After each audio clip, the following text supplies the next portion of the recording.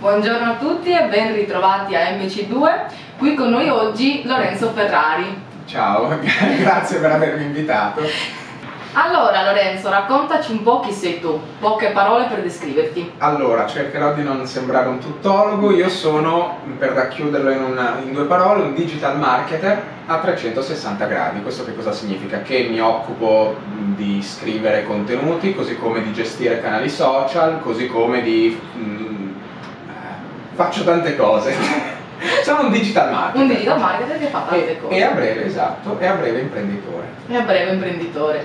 E eh, tu infatti hai una tua pagina Instagram, ma in realtà no, ne, ne hai due. Mm-hmm. Eh, Smart Talks, parliamo di, di Smart Talks. Come nasce questa idea? E insomma, chi ne fa parte? Chi è oggi la famiglia di Smart Talks? Allora, Smart Talks non è una pagina, è un progetto. Mi piace definirlo un progetto imprenditoriale perché non è ancora impresa, ma insomma eh, la, la, ci stiamo arrivando, manca poco.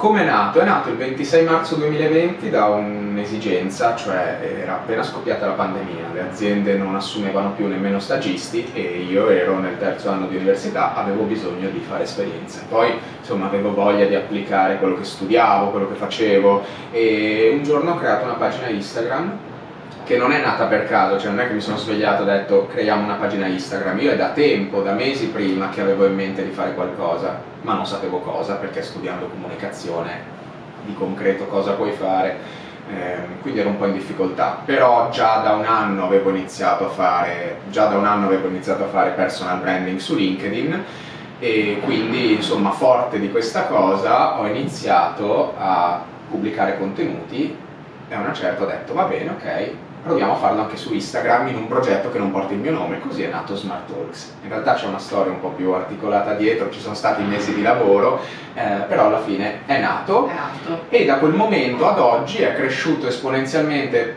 mh, mm, oltre ogni nostra aspettativa fino a quando qualche mese fa non siamo arrivati a chiederci ma vogliamo concretizzare questa cosa o abbiamo lavorato tutto questo tempo per niente? Eh, ho voluto ovviamente concretizzarle, quindi abbiamo iniziato a fare il business plan ed eccoci qua. E infatti siete arrivati da poco a ben 50.000, se non oltre sì. seguaci. Che, che, effetto ti ha fatto?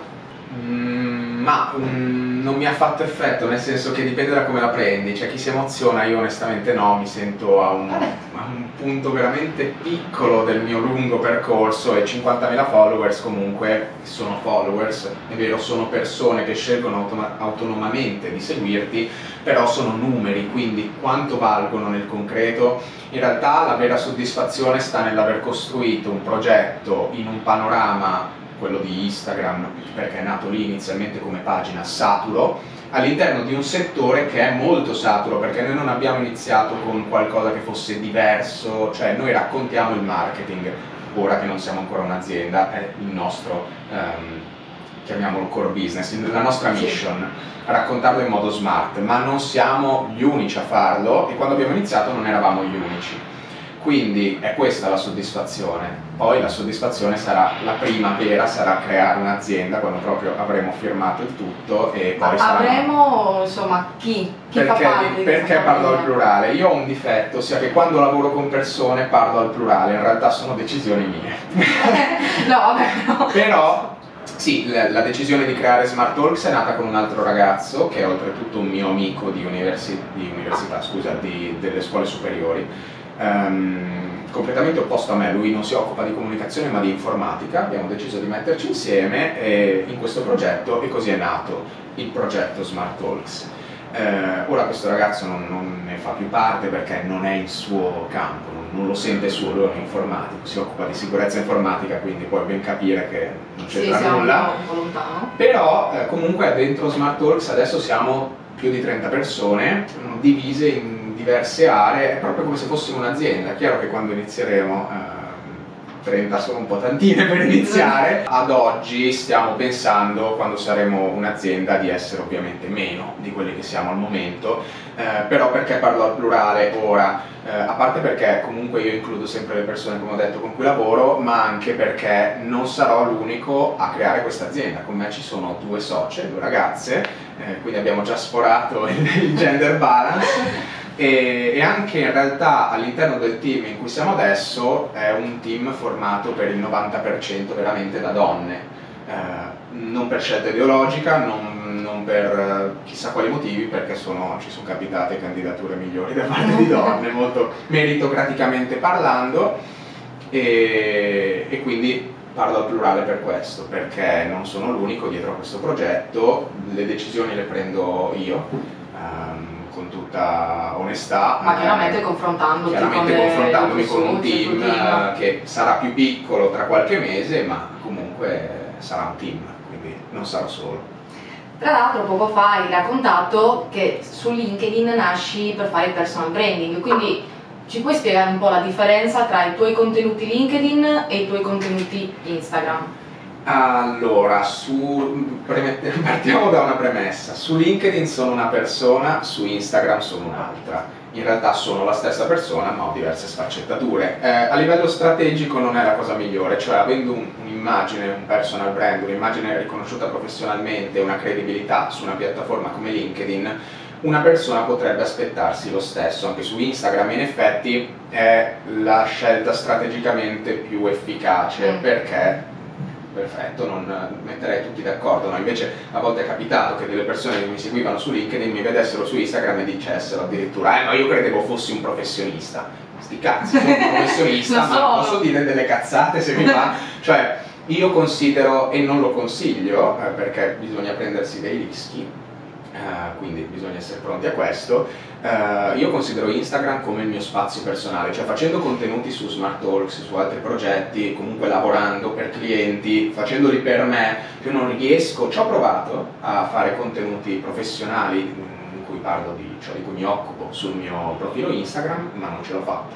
Quindi è ma proprio realtà... mia, la mia bolla dove dico se voglio cazzate, dove faccio riflessioni, dove parlo mettendoci la faccia e mi piace non so, ad esempio dal mio punto di vista questo è un punto a tuo favore perché comunque crei legame con, uh, sì, con è un punto a mio favore, diciamo. è un punto a mio favore, ma ripeto, bisogna assumersi dei rischi perché delle persone magari che si aspettano un perché vedono la tua immagine su LinkedIn nel mio caso che è tutta professionale pulita, eccetera, magari arrivano su Instagram e ti beccano e proprio vanno a vedere il tuo profilo nel giorno in cui hai detto del calendario dell'avvento nel giorno in cui ho pubblicato la foto del calendario dell'avvento di Durex in cui c'era scritto non dico cosa, eh, diverse cose e, e, quindi rimane un po' così e, e, può mandarti a cagare giustamente possiamo dire. Però è vero che questo sei tu è anche vero che tutto. tutti siamo così cioè non è che io, è, è, io vabbè eh, qui non voglio lanciare frecciatine però le persone che sono incravattate, tra virgolette incravattate, eh, che um, diciamo hanno un'immagine professionale pulita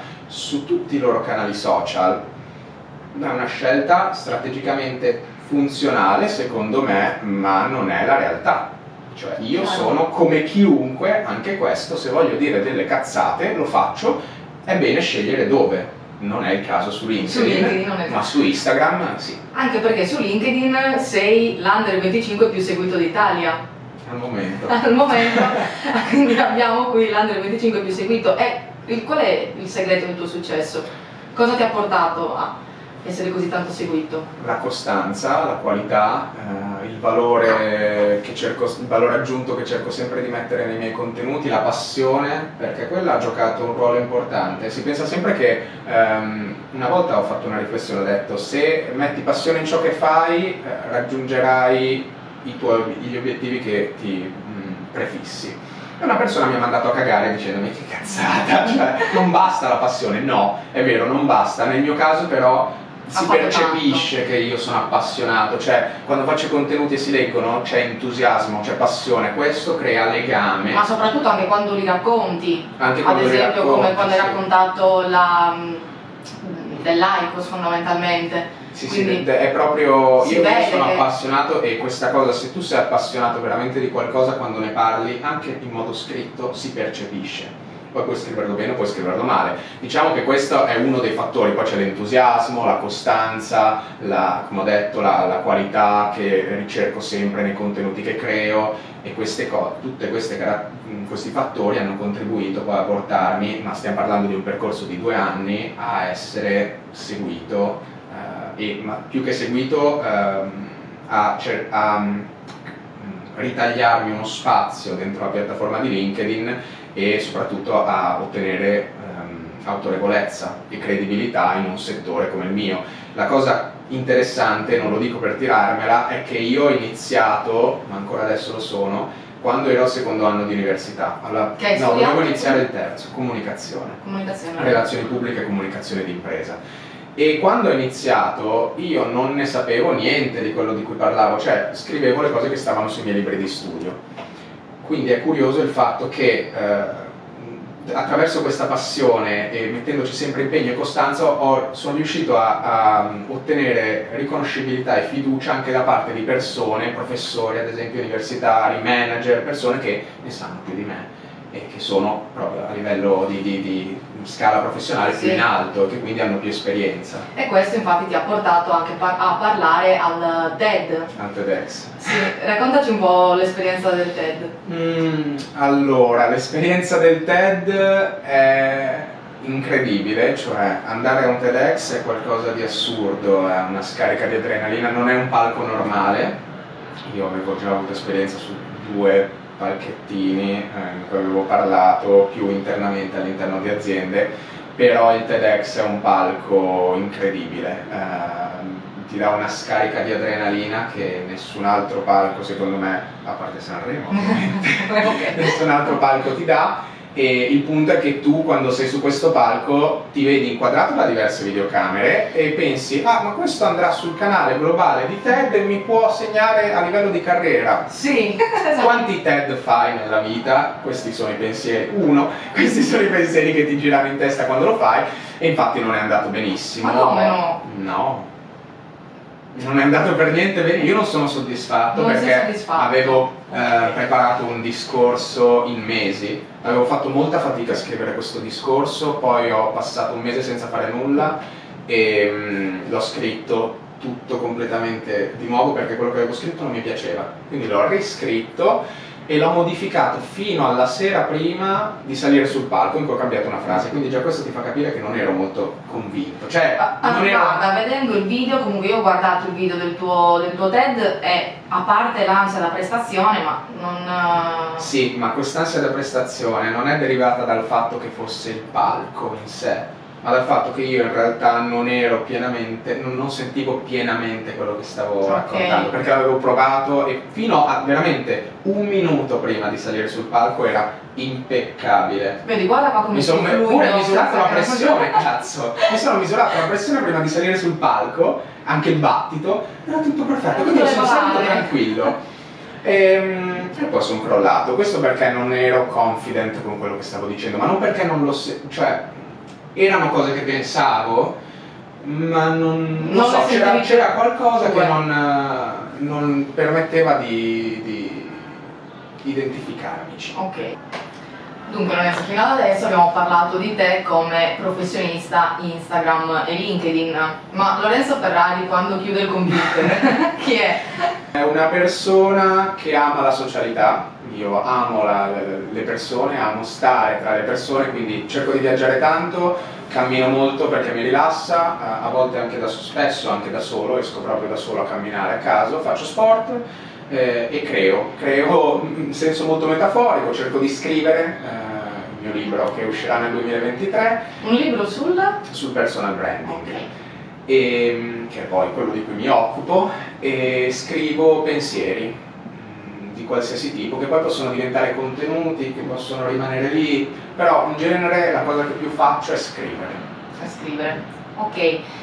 Quindi eh, Lorenzo fai personal branding, ma come ti venderesti alla persona che ti piace?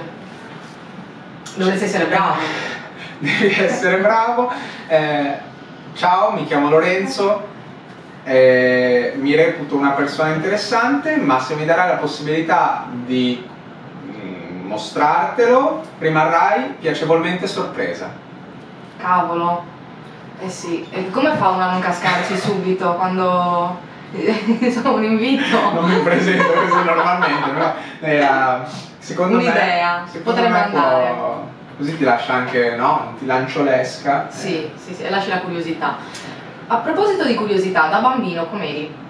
Da bambino ero una persona vivacissima, eh, ero vivace, ero irruento, eh, distruttore, distruggevo tutto, avevo le, i modellini delle macchinine e le distruggevo, eh, facevo i castelli di sabbia, poi li prendevo sassate, non, non, con le palle di sabbia, proprio cercavo i sassi e li riempivo perché ci mettevo i soldatini, quindi certo. distruggevo tutto.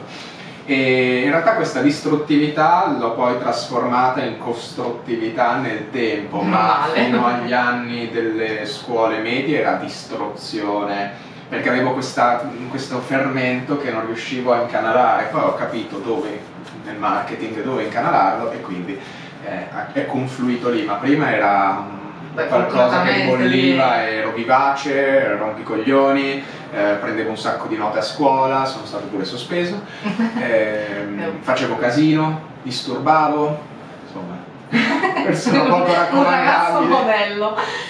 E senti, nel tuo percorso hai trovato magari, chissà se ti è capitato, qualcuno che ti mettesse i bastoni tra le ruote? Come hai reagito? Ma tantissima gente, io ho anche sofferto di bullismo e cyberbullismo a scuola, eh, cyberbullismo mh, più avanti quando ho iniziato a fare video su Facebook perché a una certa avevo voglia di fare video su Facebook e ho iniziato a farlo e ai tempi, cioè mi sembra veramente di parlare di oggi siamo tutti così sensibili a questi temi, ma ai mm. tempi sentevi l'orecchino sul, sul sinistro, sul destro, non mi ricordo, eri gay. Forse era sul sinistro. Eri gay.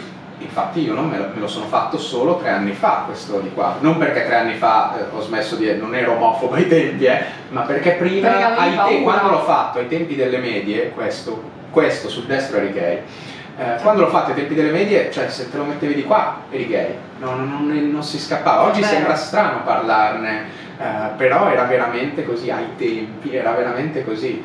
E, ehm, quindi insomma anche fare video su Facebook veniva visto in modo strano perché facevi qualcosa di diverso, di diverso e quindi cyberbullismo, bullismo Uh, così gratuitamente eh, perché il bullismo è sempre, quasi sempre, è sempre, è gratuito. sempre gratuito. Quindi di persone che mi hanno messo i bastoni tra le ruote ce ne sono state veramente tantissime, anche in ambito professionale. Eh. Come ho reagito? Uh, all'inizio reagivo male, mm, nei tempi in cui soffrivo di, di, bullismo ad esempio, poi un giorno, ed è stato veramente così, mi ricordo proprio, uh, un giorno ho fatto un mega pianto e perché non capivo, perché, perché, ci fosse questa cattiveria gratuita, non lo concepivo e proprio ricordo perfettamente, poi non so le dinamiche esatte, ma ricordo perfettamente che da quel giorno ho proprio impostato una mentalità completamente differente, ho cominciato a fregarmene che è ciò che faccio tutt'oggi. Infatti se tu mi fai una critica e sei una persona che eh, mi fa una critica costruttiva,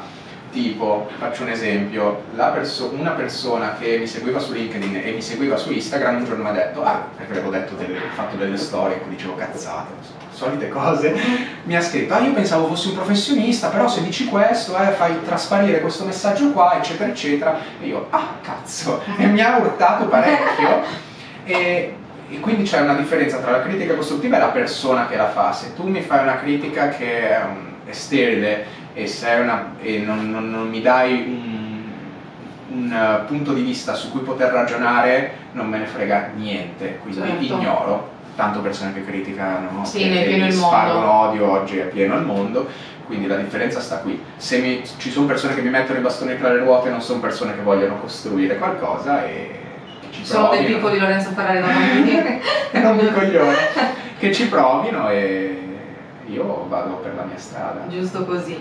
E senti, ormai a 22 anni comunque ah, stai aprendo anche la tua azienda, diventerai a breve imprenditore. Come ti vedi, ah, insomma, anche a 44 anni, ad esempio? Spero ricco. no, a 44 anni ehm, nella mia visione appagato, proprio onestamente parlando, appagato e felice che tutti questi sacrifici fatti fino ad ora che mi hanno portato a sacrificare tante cose del, de, della mia quotidianità, della mia età che altre persone possono godersi, siano ripagati. Eh, Ma eh, ad esempio cosa eh, sacrifici? Ma ad esempio la, la vita sociale io ho sacrificato tanto di vita sociale, sono uscito meno, magari a volte mi chiamavano i miei amici per uscire dovevo lavorare o dovevo fare cose e non capivano cosa dovessi fare perché magari era creare dei contenuti per i miei per, certo. per Smart Talks. Eh, era, cioè, ehm, è questo quello che poi ti crea un po' di frustrazione, che le altre persone che hai vicino non capiscano veramente. Eh, però ho dovuto sacrificare tanto, rapporti personali, persone tossiche, persone che mi rallentavano, mh, mm, amicizie che in realtà erano amicizie nel momento in cui io vivevo lo stesso stile di vita, la stessa routine, la stessa routine eh, e per racchiudere tutto questo appunto vita sociale, uscite, eh, serate, eh, discoteca, divertimento, eh, sport, tutte queste cose qua in, vi- in virtù di, di, di, di, creare qualcosa. Di creare qualcosa di sì. tuo. Sì, tutto sta allora Lorenzo ti farei l'ultima domanda ed è quella uh, come vorresti essere ricordato tu un giorno? Come ti piacerebbe che le persone parlassero di te, ti ricordassero? Mm, mi piacerebbe essere ricordato per il segno che ho lasciato, eh, che in realtà non è una risposta, penso, ho semplicemente rigirato la domanda. mi piacerebbe essere ricordato per qualcosa di valore, eh, cioè mi piacerebbe lasciare un'impronta positiva. Noi lo stiamo già facendo come Smart Talks, anche io, cioè creare contenuti di valore è lasciare un'impronta comunque sì. positiva per qualcuno. Quindi vorrei essere ricordato per questo. Non so ancora per cosa, ovviamente, non ho idea di come sarà il mio futuro, magari muoio domani, ma... Speriamo di no, almeno dammi il tempo di finire il libro. Ma mi piacerebbe essere ricordato per un contributo che ho lasciato alla società in qualche modo, che, che non per forza vuol dire eh, creare una onlus certo. per aiutare i bambini in Africa per dire, ma almeno lasciare un segno positivo a qualcuno, a qualche persona, qualcosa di utile, insomma, che faccia dire ok, quello che ha detto, che ha scritto, che ha fatto Lorenzo mi è servito. Ok, quello è. Potresti scrivere nuovi libri di testo magari da utilizzare. Sì, nelle... già in cantiere. allora io ringrazierei Lorenzo Ferrari per essere stato qui con noi oggi, vi inviterei assolutamente a seguire le sue pagine che sono Smart Talks, Clever ADV, eh, altro futuro, altra futura azienda, eh, me.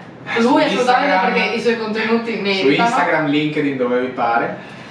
Va bene, e allora grazie per essere stato qui con noi, ci vediamo prossimamente e ricordatevi che in caffè Veritas.